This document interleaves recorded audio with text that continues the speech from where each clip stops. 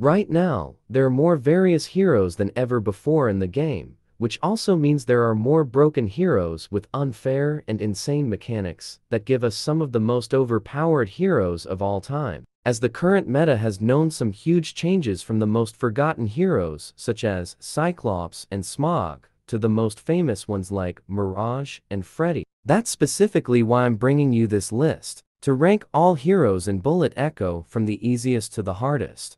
But before doing that, I must tell you about my strategy for ranking these characters. Heroes and Bullet Echo are two types.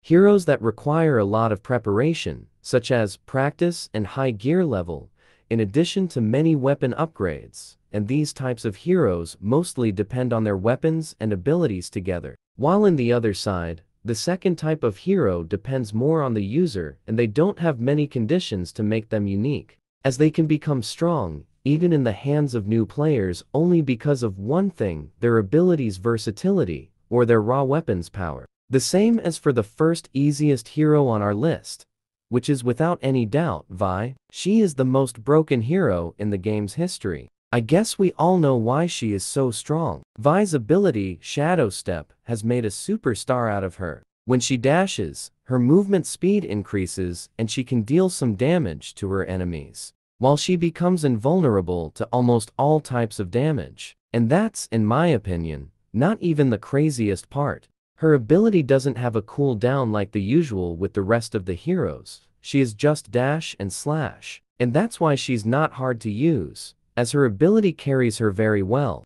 The next hero is not only the easiest hero, but she also possesses one of the easiest abilities to use in my opinion, and that would be Angel and her shield ability. She is so flexible to control, and has pretty decent stats like acceptable damage and good movement speed, which always keeps her one step ahead of her enemies. Her only disadvantage is that she is very fragile to the tiniest damage due to her low health.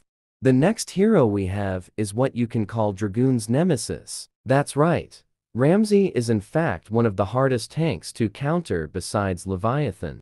He won't wait for you to show yourself. Instead, he will find you wherever you are hiding and kick you out of the field.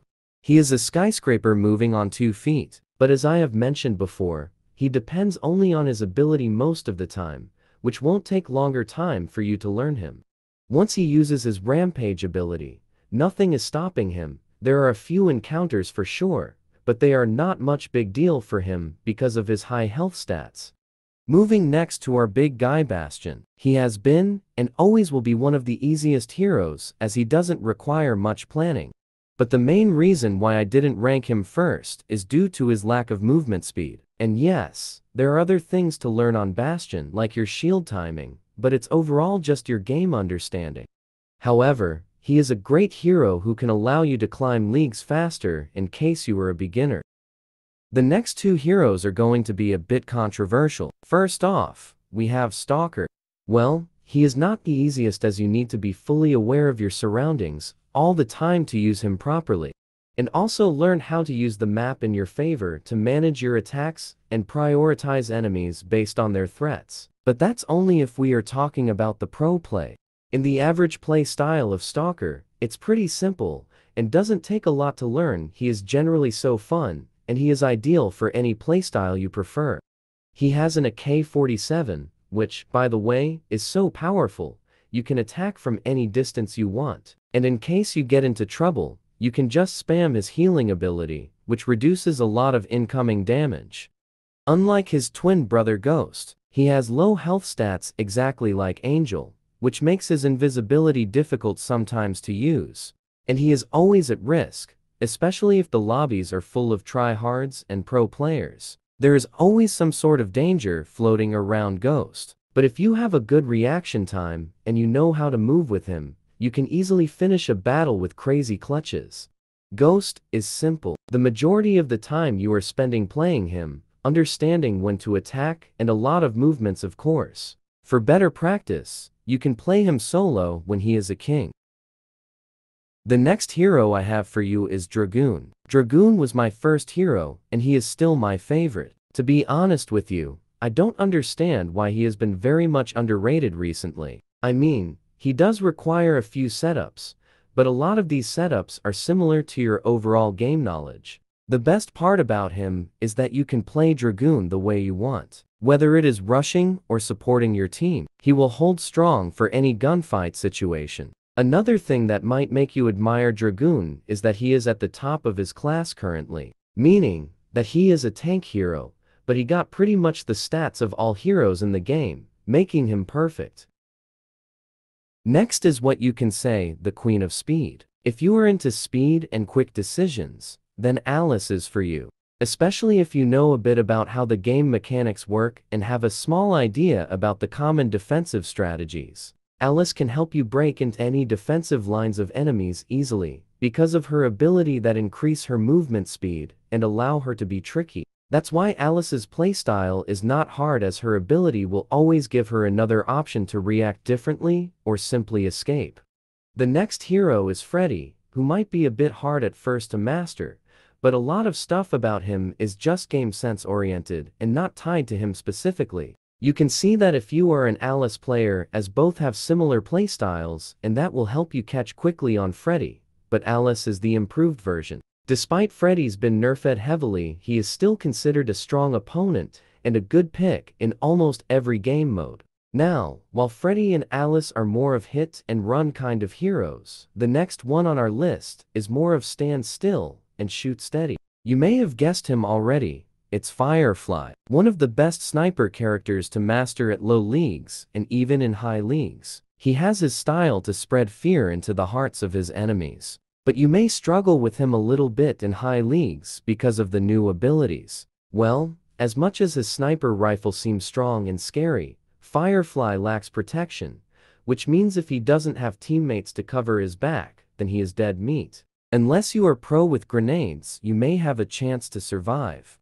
The next hero is the one and the only shotgun queen, Sparkle. She's not hard, but her slow fire reload can make her hard to play for some players. Especially if you don't have her full personal set to help you get that additional one bullet. Despite that, she has great gunplay skills as she is capable of taking down big targets, which can be useful for those who are looking for a strong hero without high skills floor. And there is also her grenade ability, which you must learn how to serve in hot for your enemies.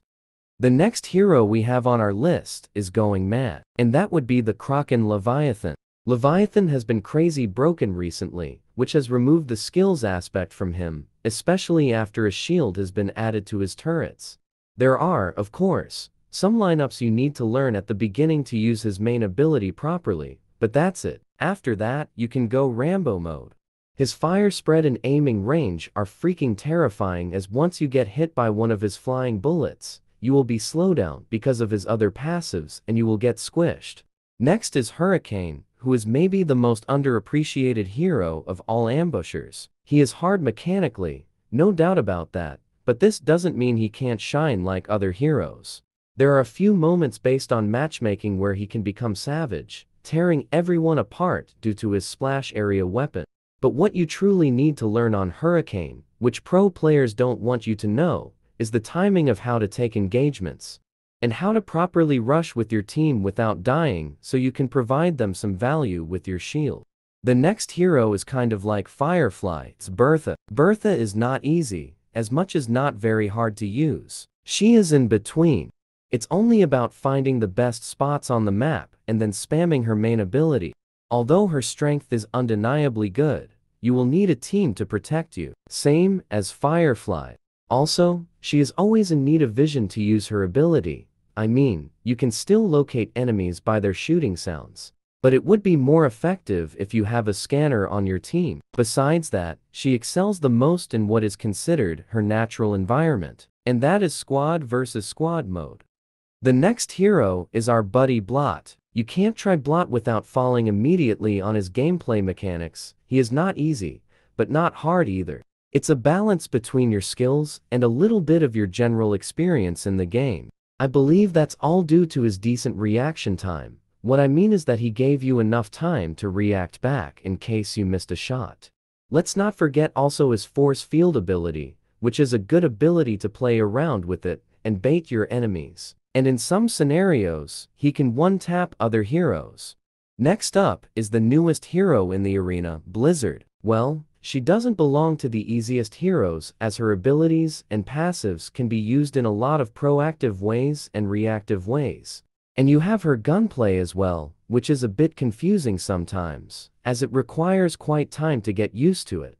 And not to mention her freezing mines, which can be difficult to set up, perfectly optimal in a complex fight. However, she is not that hard either, because her ability comes pretty handful to save you in those tough moments. The next hero is Levi. She needs some good gear combinations in addition to all the stuff that you would need to do on Bertha, like learning certain lineups so other heroes don't get you off guard. There is also an extra layer on Levi's playstyle which is her thermal ability you need to know where to position yourself.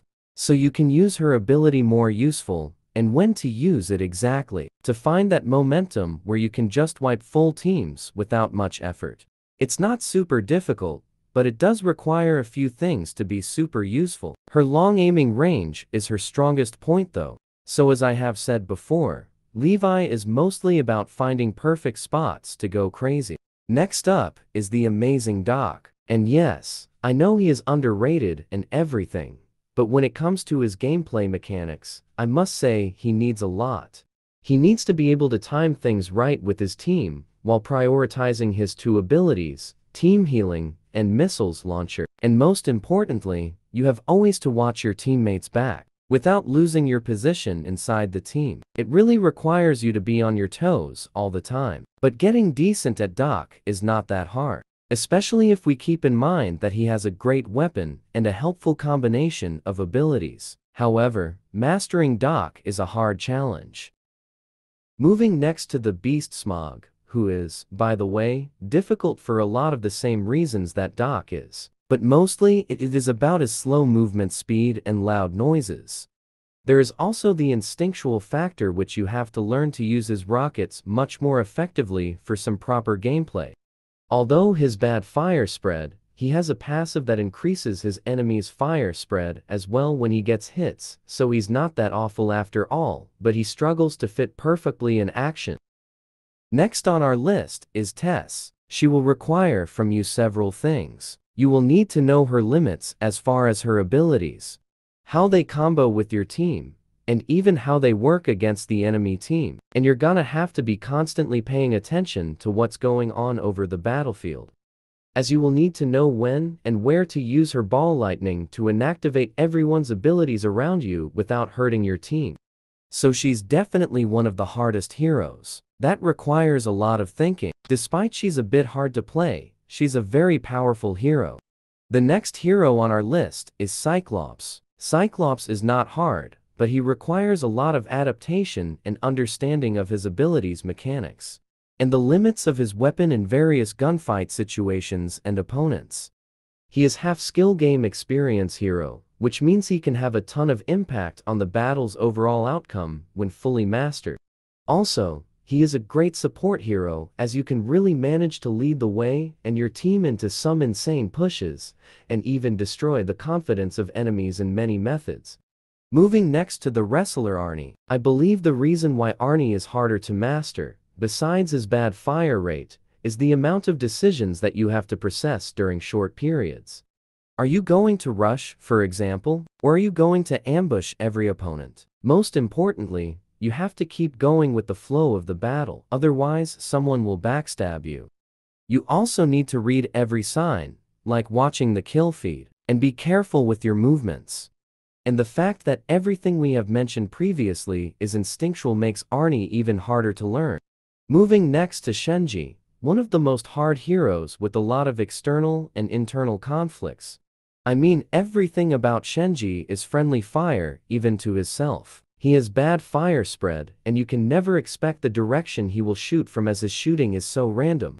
But he does a lot of heavy lifting when it comes to defending sites thanks to his broken ability, Fire Hunter, which not only deals a lot of damage and slows down enemies, but also covers a huge area, allowing enemies no escape. Up next, we have got the one-shot killer, Slayer. Despite his scary power, he is a very demanding sniper hero as you need to learn how to rotate without losing your aiming. Also, Learning when a certain situation is happening so you can decide whether to camp or change position and which spot is perfect for using his thermal ability. I mean everything about Slayer is hard, even his movements as you have to walk in special ways to have that chance to no-scope your enemies. And he has a bad fire rate, so once you mess up one thing, that will mess up your whole battle, which might cause your team to lose as well. That's enough reasons to make him one of the hardest heroes to play, in my opinion. Next up, we got to talk about the beloved sniper of everyone, Mirage. She has many similarities to Arnie, even though she can't deal much damage like him. But she requires a lot of movements, knowing when and where to be and staying reactive to everything that the enemy team is doing, and you have to do it very quickly. Besides that, there are a lot of things to keep in mind, like perfecting your moves and angles for your peaks, and respecting the distance between you and your enemies. Therefore, I would like to rank her as the hardest hero of all of them, but since she has pretty good mobility, she is fine. But that doesn't change the fact that Mirage is a skilled hero, because mastering her is like understanding the game, 70% or 80%. The next hero is one of the hardest heroes, but also the master of tactics, I'm talking about the youngster, Raven. Many players might see him as a medium hero, but for me, Raven is a skillful hero, as you have to be calm under pressure. And think creatively about how you are going to approach every single given situation, and make some quick decisions here and there. Without mentioning supporting your team. So I think Raven is really hard to master, and if you did, that's understanding the whole game. Now, the next hero is who I assume is the top second hardest hero probably on our list, Lynx. She's a sniper hero, but she has nothing to do with the sniper class. She can switch between two firing modes which are close range and long range. She is also able to move quickly or slowly. Without mentioning her fire spread and fire rate, which are unrelated to what we are used to on other sniper heroes. She's a hybrid of almost every hero in the game. There are no rules that may limit her potential or define her playstyle. And the main reason why I believe that Lynx is the top hardest hero is the fact that she requires high game sense, which is not something you can obtain easily. Finally, the boss level, Satoshi. He is the hardest hero in my personal opinion. Some of you think maybe he is broken, but he got the worst stats in the whole game. Such as low health, bad fire spread and fire range, and low vision. His weapon is indeed illegal, but you have to know when you can move, and when you just have to stand back and wait for enemies to enter his firing cone. There are also other things that you can't just learn with practice, but you only gain them over time. Such as expecting enemies' movements and the skill to deploy the force field in specific situations. There's a lot of flexibility you should have in your playstyle and fake some of your moves to reach master level.